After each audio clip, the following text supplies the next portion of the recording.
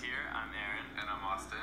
And by the title of this video, you guys probably understand what we're going to be talking about. Yeah. And I think with this new year, we just want to we want to come we want to come back to YouTube. We've taken some time off, and we want to come back as authentic as possible.